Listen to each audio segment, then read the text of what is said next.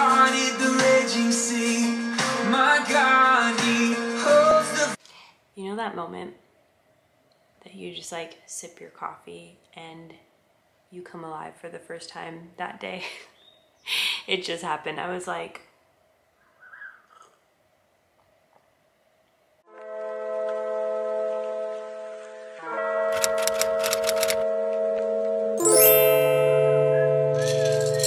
Hi.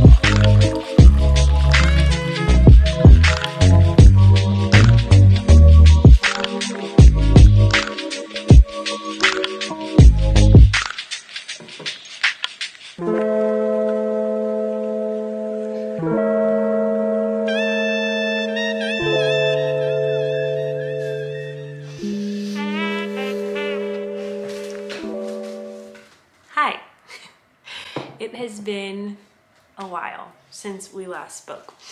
Um, I'm really excited to be making this video and to be talking to you again. I feel like the last time we spoke was right around the time that I had given birth. Um, and I'm four months postpartum now. So I am so sorry that it's taken me so long to make another video.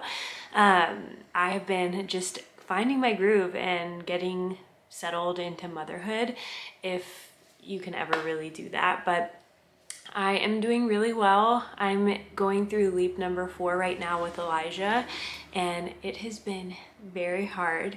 Um, this is definitely the hardest leap that we've gone through with him so far. He is very needy, very clingy, wants to be held all the time. I'm soaking it all in, but man, is it hard. Um, Nathan is back at work now, so I'm full time with Elijah at home while working full time at home, and so finding my groove with that has been really fun as well. Um, but I think I'm finally settling into a routine that works for me, and so I can't wait to really dive in and show you everything that's been going on. It obviously is not going to be all in this one video, but I figured I could just come back into my YouTube space and just share a day in the life of what it's been like with Elijah, four months postpartum for me and him being four months old now. Um, and yeah, I love YouTube. This is how I consume like 90% of my content. And so being on here and sharing my life with you is honestly such a joy. I hope that you enjoy watching my videos as much as I love creating them for you. And Today is a beautiful day here in Charlotte, North Carolina. The sun is shining, so hopefully Nathan, Elijah, and I will get out of the house and do something exciting. But there's a lot to be done in the house that I'm sure we could do too. So, all right.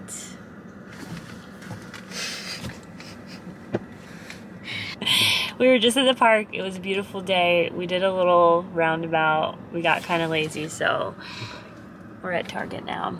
And this is like one of our favorite date ideas. Um, just to walk around Target.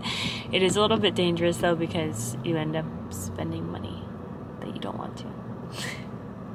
okay, bye. Okay, so Elijah's been napping for almost two hours now, which never happens. But I figured I would use this time to kind of catch you up to speed on, oh my gosh, I almost fell. Um, I figured I would catch you up to speed on how he is sleeping and how he's eating right now at four months. So Elijah started sleeping through the night around three months old.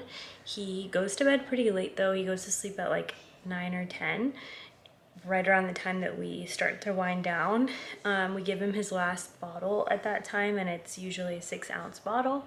And he'll sleep through the night. He'll wake up around like six um, in the morning, and we'll give him another six ounce bottle in the morning because that's like a really long stretch without eating. So we'll always give him a big bottle in the morning. And then throughout the day, he eats every three hours and he eats about four ounces. And he also naps every three hours.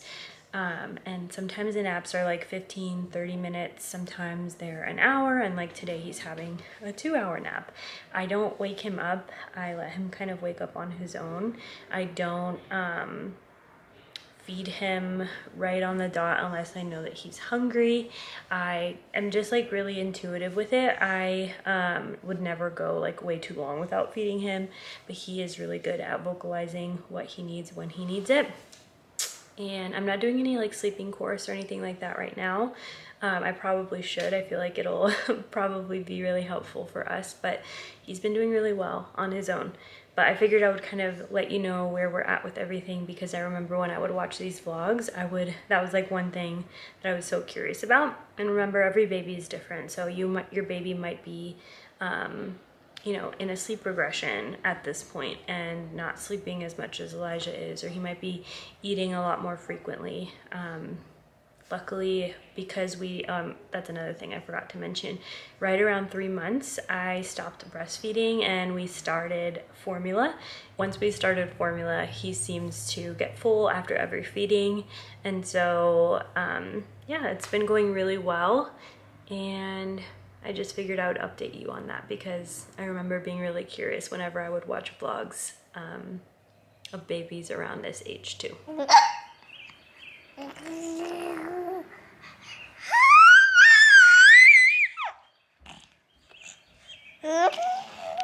Okay, so a funny thing about postpartum is you lose so much of your hair, but really your baby just pulls out the rest because it's a struggle. So the last time that you saw the three of us, it was during our birth vlog. And I was wearing the same hat. a lot of you guys had such wonderful things to say about Nathan just during the birth and as my birth partner. Um, so I figured it would be fun to just bring him into this video and just kind of chat about the birth a little bit now that Elijah is here with us. So how has fatherhood been so far for you? Daddy life, Yes. super dope. Yeah, are you super in your element? Oh, absolutely. I was born for this. yeah. I think that that's why um, he was just so amazing during the birth. Like, Nathan was born to be a dad. Like, this is what he's always wanted to do with his life. And so it's so cool to see him step into that role. Um, what tips would you have for any other dads that are about to experience the same thing, like going into a birth and delivery? Into a birth and delivery. And into fatherhood in general. Fatherhood, you're never prepared. Mm. Have grace on your child. I've never been mad at this kid. Yeah. Like legit. Like he he cries and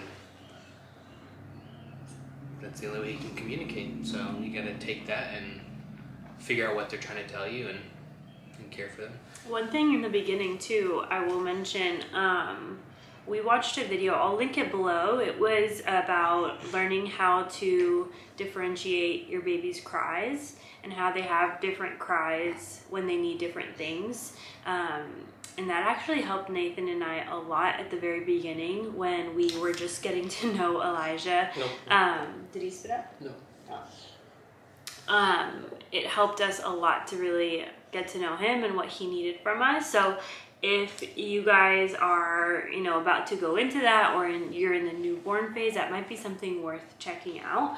Um, but specifically with labor and all of that, like what would you recommend for dads Mm.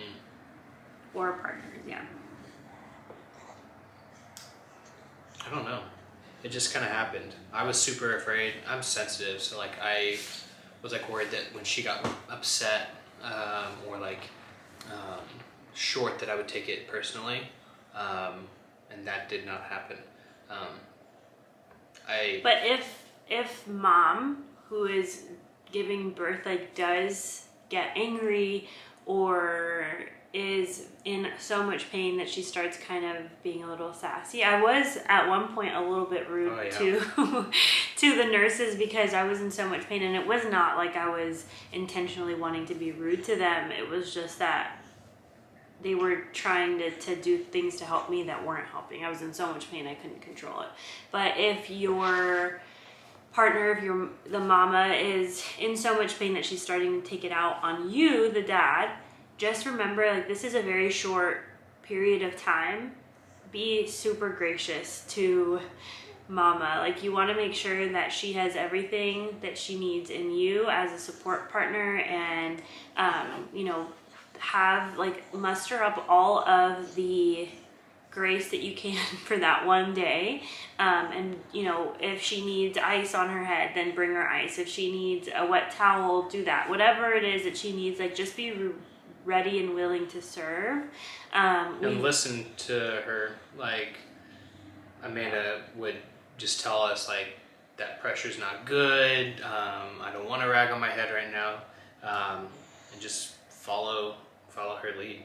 Yeah, because you know, dads they they don't go through what moms go through in labor and delivery, um, pain wise, and so one thing that you can do to be there for um, your partner during labor is just to like serve them and take care of them like as best as you can. It's like one day of just being able to, to serve them and meet their needs however they need them. And moms, I would say too, like be as vocal with your needs as, as you can. Like remember that you have a voice, your choices matter. Nathan and I had made decisions on what we wanted for our birth and like you guys saw it didn't end up going as we had originally planned. We didn't end up delivering at the birthing center. We had to go to the hospital.